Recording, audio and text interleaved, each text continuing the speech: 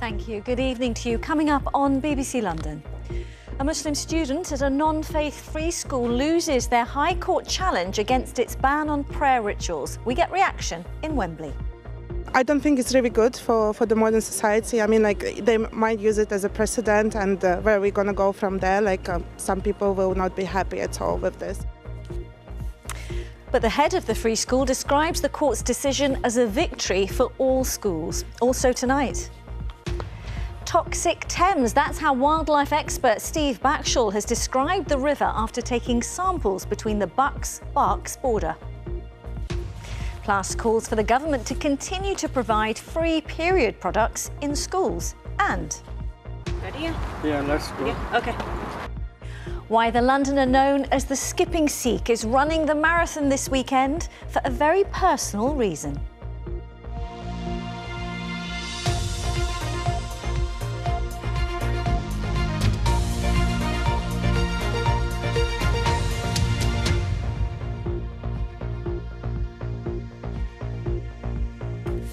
Hello and welcome to the programme. The state of the River Thames is once again in the spotlight. Since the start of the year, Thames Water has discharged around 2,000 hours of sewage into the Greater London area. Along with regular users of the waterways, wildlife expert and TV presenter Steve Backshall has described pollution found in the river as toxic after he took samples from downstream from Little Marlow sewage treatment works. Thames Water says all discharges from the site had been fully compliant with environmental law. Joe Campbell has the story. I've lived here now for 10 years, but I've been kayaking this stretch of the river for at least 25. And what's happened to it in recent years is absolutely heartbreaking. Steve Backshall's used to facing danger in the wild, but what he found here in his own backyard after a nearby works discharged sewage into the river, he says for 16 hours, left him horrified. Had this been a sample done when I was taking my tests, uh, consuming that would put you in hospital without any question. And it's not an exaggeration to say that it, it could have killed you. The levels of E. coli, norovirus, enterovirus were so high that sometimes the lab technicians wouldn't even open the, uh, the samples that were sent to them. And you know they've described it as being a death potion for the river, something that could kill anything living in or near to the river. As an honorary lecturer at Bangor University, he got the team there to put the Thames under the microscope. I would love to say that these results were a surprise, um, but we are finding that when we have samples um, from an area that has had a sewage spill, we are seeing poor quality water like this. Um, I was surprised at just how high um, some of the readings were from Steve's samples. Um, uh, but unfortunately, um, it is is becoming all too common. For Steve, who's traversed the river with his Olympic medal winning wife, Helen Glover, Ready? and now Yep. takes their children on the water, it was a shock. So right now I wouldn't go in the river. And then there's the thought that, you know, there are people walking their dogs along the banks, there are kids splashing around in the water, my own kids. Uh, and, you know, they could get seriously, seriously ill from this. Steve's sampling methods have been questioned by Thames Water. Today they were inviting him to a private tour of their nearby site, which they say meets all the required standards, whatever his test showed. Joe Campbell, BBC London. And uh, we can get the latest now from broadcaster and naturalist Steve Backshall now. Good evening to you, Steve. As we heard there, you were invited by Thames Water to visit Little Marlow sewage treatment works today. Uh, did they address your concerns? Um, well, first off, I have to pick up on a couple of things from, from your package there. You said that Thames Water questioned my collection methods, and I, spent three hours with them today, and they absolutely didn't question at all. In fact, actually, they said that what I had come back with was kind of what they would expect. Um, and a lot of the things that were said actually in my conversations with them today, I, I found quite shocking. You know, they uh, sort of said that A, it's not their business to tell us whether it's safe to be in the river behind us. That that is completely up to us. But at the same time, the Thames is not safe to swim in generally. Even uh, you know, not thinking about after sewage outages, it's generally not safe to swim in because of effluent from um, from sewage treatment. And I, I, kind of felt it was amazing that they were prepared to take me and local residents in, and they were to be able mm. to be so transparent with us. But at the same time, a lot of the things they said were pretty shocking. Mm. And, and, we, of course, did ask Thames Water if they would talk to us tonight, as we have done on many, many occasions, but they declined. Um, but as, as, you've said, you know, they do say that Little Marlow Sewage Treatment Works is fully compliant within the law and the site is due to be upgraded. Uh, they didn't mention any upgrades today. In fact, they were specifically asked about those, and they said that they had no plans for them. Um, uh, also, you Sorry, said so they specifically I... said to you, Steve, that they have no plans for the site to that, be upgraded. That, was, that, question was asked, and they said uh, we we have no information on that at present. Um, also, you said that it was it was me that said there were 16-hour outages. That has come from Thames Water. So they've had three so far this year, the longest of which was 16 and a half hours. Um, my testing was taken about 24 hours after the 12-hour outage here. Mm. And some of the, the, the, figures there, you know, we have norovirus at levels way, way above mm. what it would need for you to get sick from from being close yeah. to the water. Uh, you know, know, it only needs to be 10. Sorry, carry on. No, no, no. Uh, and we know so, so many people are, are, are concerned about this. Can I ask you just very briefly, given your, your talks with them this afternoon and, and what you, you've learned, you know, what would you like to see now from Thames Water? Well, one productive thing that we did uh, kind of come to was that a lot of the residents said they would they would just like to know. You know, it, Thames Water is aware that they're putting these kind of pathogens into the river. That if it's happening, that there should be uh, local alerts. That we should be, you know, given the opportunity to to say to our kids, don't go anywhere near the river for the next couple of days because you, you know there's massive loads of E. coli, and norovirus, and enterovirus in there that could make you sick. And they they seemed on board with that, but it, it remains to be seen whether there'll be any developments there. OK, and of course we will keep across this as well. Steve, thank you so much uh, for joining us this evening here on BBC London. Appreciate your time. Thank you. Let's turn now to the race for City Hall as Londoners vote for our next mayor in just over two weeks' time. By the way, today is the final day to register to vote in the local elections on the 2nd of May. Anyone who's not registered has until midnight tonight to apply. Meanwhile, campaigning continues apace. And today it was the turn of the Lib Dem candidate, Rob Blackie, to outline what he'd do if he were elected mayor. Our political editor, Tim Donovan, was there. At a boxing gym in South London, the Liberal Democrat leader had a jab at mayor and government. People do not want to vote Conservative in our great city, and they're looking for an alternative to, to, to the mayor the mayor has let people down and people do, are not going to vote for Sadiq Khan. He is the only main candidate saying he won't freeze transport fares, so he has money for other priorities. It's going to cost £60 million, and it will benefit tourists with no gain for ordinary Londoners who have a travel card. I will cancel that plan, and over four years I will invest that money elsewhere. That will free up the equivalent of at least 300 officers to focus on sexual offences and other serious crimes. Among other pledges, he would allow people to apply for ULEZ money retrospectively if they've already scrapped their vehicle. He would create a fund to help tenants in legal dispute with their landlords. And his key promise is to double the clear up rate for sexual assaults. You make it sound like it's ambitious uh, to double the rate of clear up. But what you would be doing, all you'd be doing is getting back to what it was in 2016 by your own admission. Well, we've been left a huge mess by the mayor, so it will take some time to clear up that mess. Our ambition is obviously to go further. With London such a popular destination, he also wants a voluntary tourist tax. What have you got against tourists? I think tourists are fantastic, and if we, because we can make our city brilliant, that means they can contribute a little bit back. As you say, it would be voluntary. We haven't banked any of that money.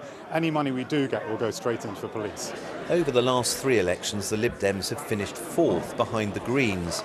At the very least, they'd like to win that bout.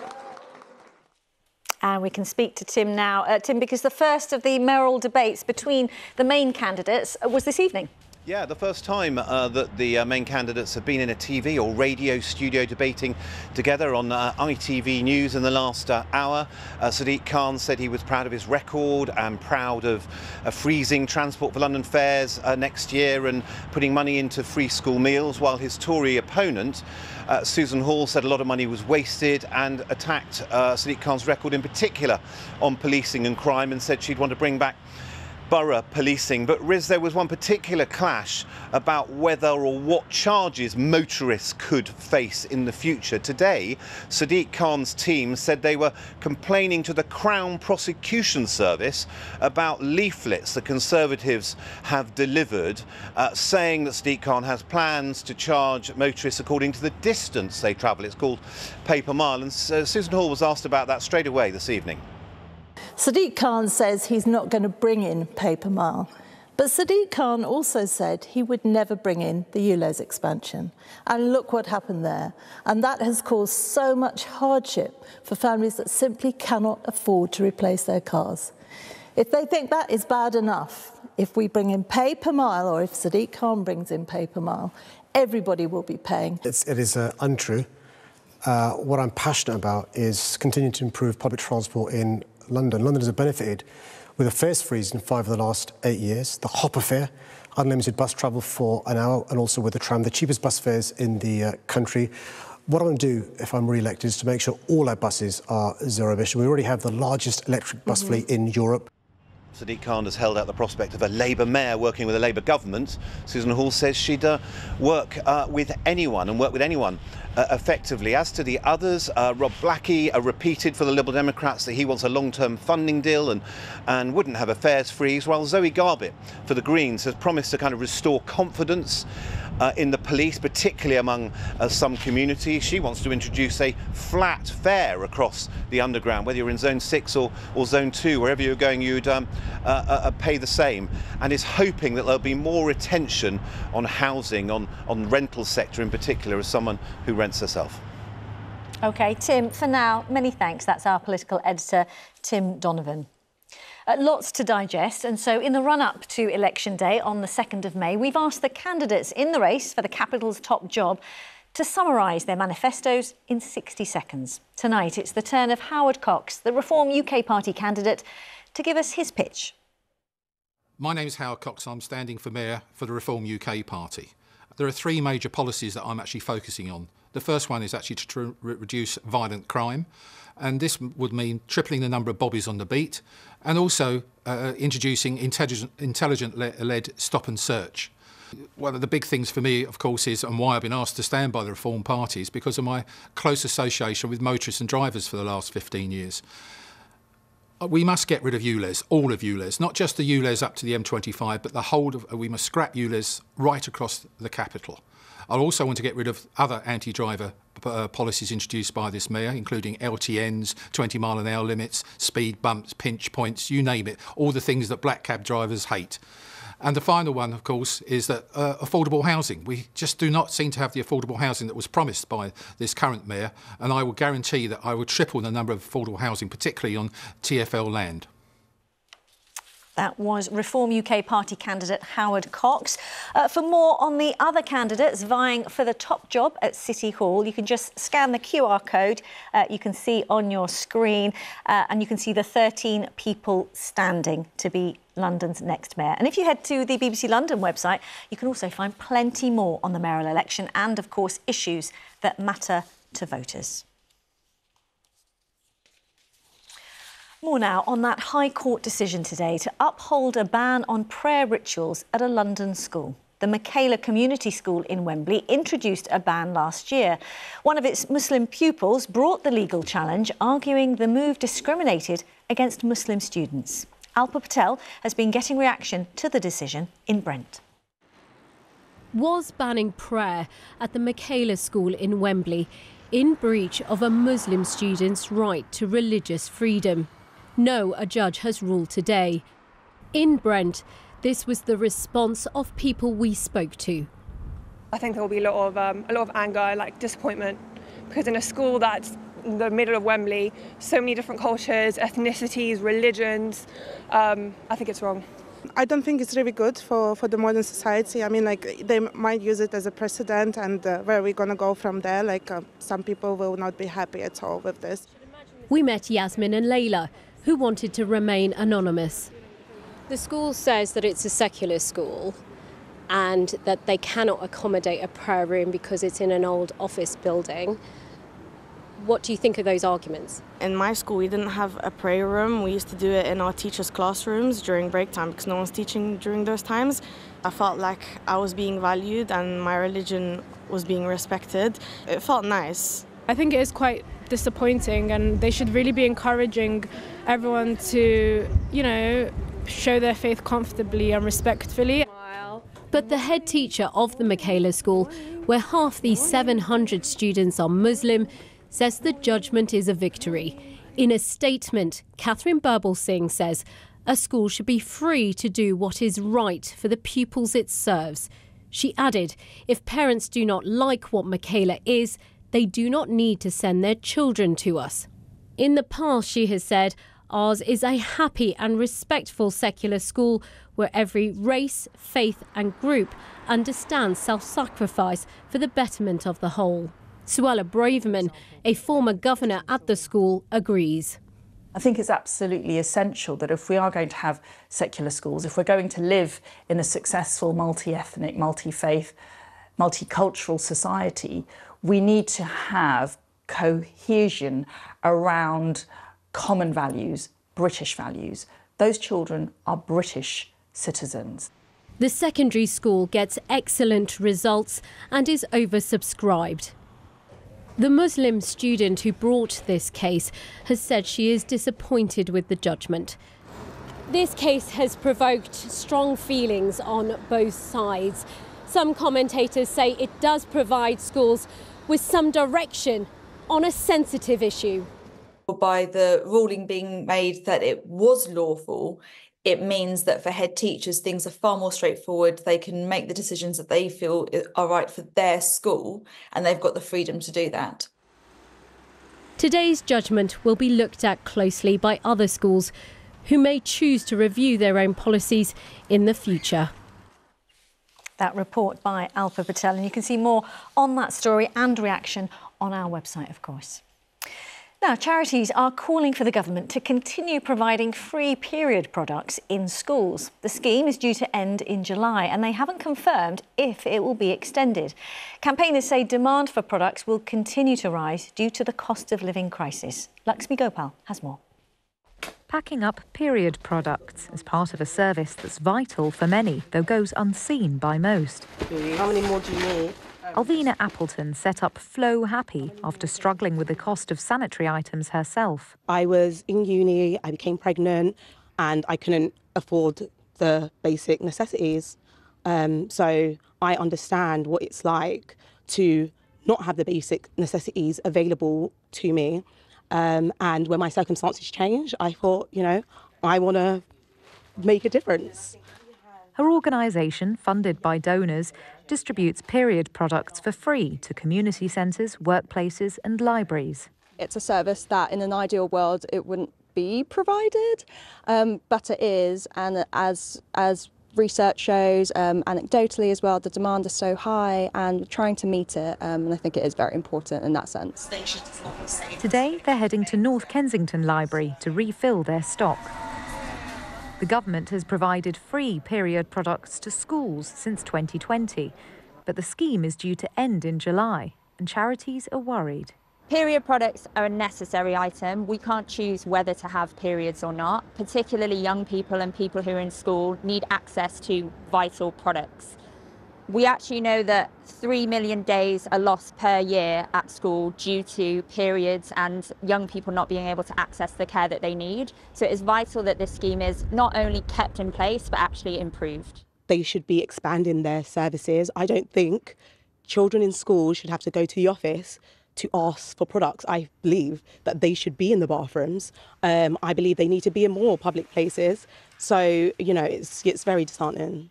The Department for Education didn't respond directly to the question of whether it would continue the scheme beyond July, but it said any extension of it would be confirmed in due course.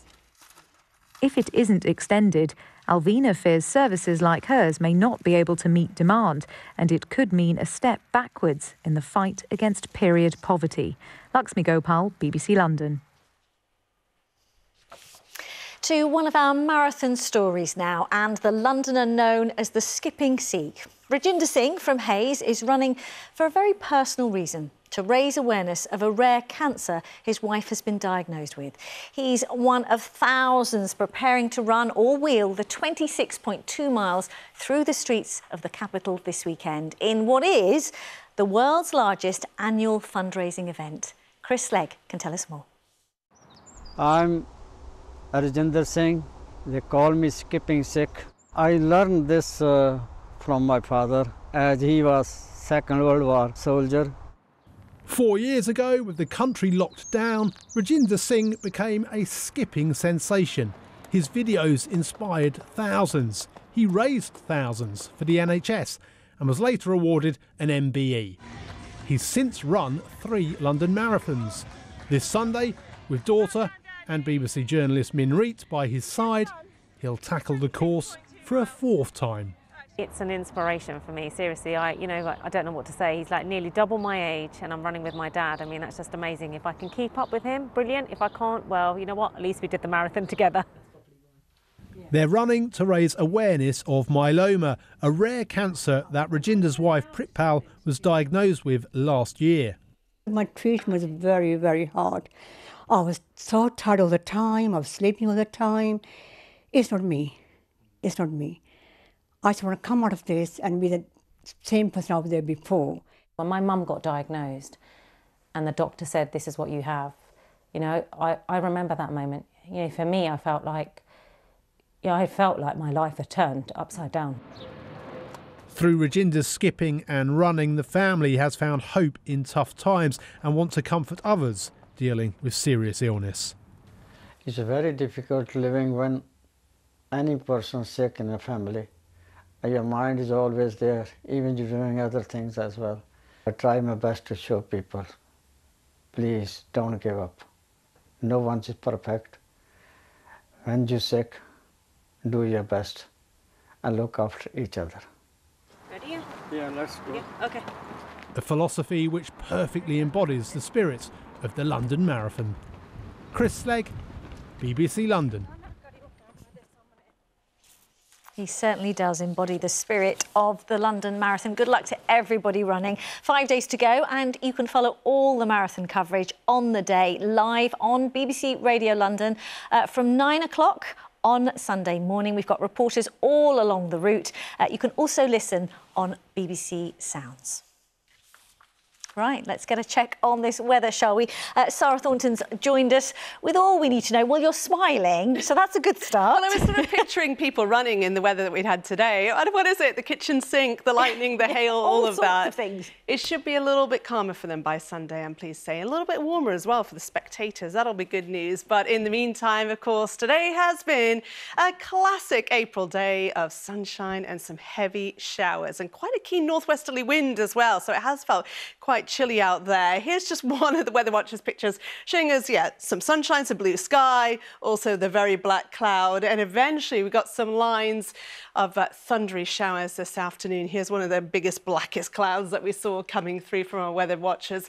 And we've still got a bit more of that to go. For tomorrow, for instance, we do have further showers in the forecast. But as I say, by the weekend, it is looking an awful lot drier and brighter. For the time being, though, we have got this northwesterly wind still feeding showers uh, through the day tomorrow. Then high pressures building in from the west through the weekend, which is what's going to make us more settled. Still a couple of days, though, of some cloudy conditions at the end of the week. But for the time being, a few showers around, then they tend to fade away overnight tonight. And the winds do drop out a little bit, which means the temperatures can take a tumble. Out in our suburbs, two or three degrees. It's going to feel pretty nippy tomorrow morning and the following morning as well, as we keep that slightly colder air with us. And at first tomorrow, it's dry with some lovely sunshine, but then we'll see those northwesterly westerly winds start to bring in some showers. Potentially there are fewer than today, but equally you're a better chance of seeing them if you're further east, whereas a lot of the today's showers were out towards the west. And then again, they fade tomorrow night and into the start of things on Thursday. It is a chilly start. Then we start to bring in more cloud, but you might be able to see here with the wind streams that we're slightly changing the wind direction. That means the temperatures are coming up a little bit. 14 Celsius, 57 in Fahrenheit. Not bad when you're in the sunshine. And then on the air mass chart, you can start to see, having lost a little cold front on Friday morning, the, the oranges appear from the west as the high pressure builds in. So that means things are going to turn A, more settled, and B, quite a bit warmer too. But still some work to do. As I say, tomorrow morning and certainly on Thursday morning, it's going to be a chilly old start for you. A little bit of ground frost out there towards our suburbs. And then tomorrow after a dry and sunny start, we'll see their showers feeding back towards us in the afternoon. And like today, they could have some hail, thunder and lightning mixed in with them, but there will be some sunshine around. It Looks like we're going to have quite a bit of cloud at the end of the week, a weak cold front bringing us that. But as I say, things turn warmer and more settled, certainly by Sunday. I love the enthusiasm, yeah. Sarah. Thank you. And it stays lighter longer. And that is it this Tuesday. So thanks very much for watching. You know you can find plenty more on our website and social media, including more of our marathon stories. From all the team, do have a lovely evening. Bye-bye.